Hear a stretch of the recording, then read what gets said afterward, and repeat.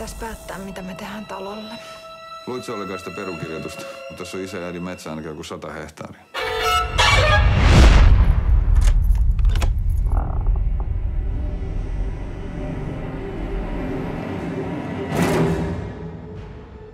Eikö tämä paikka oikeasti herätä sussa mitään? Mä en muista oikein mitään.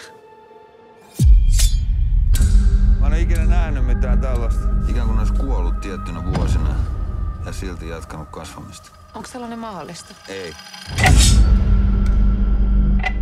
Mitä vittua täällä on oikein tapahtunut?